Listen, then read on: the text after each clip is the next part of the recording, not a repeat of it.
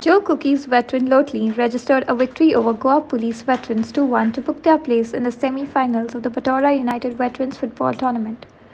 Joe Cookies veterans scored the first goal through Sebi Vaz in the first half in the 30th minute. Later, in the second half, Goa Police veterans scored their first goal in the 70th minute through Vinod.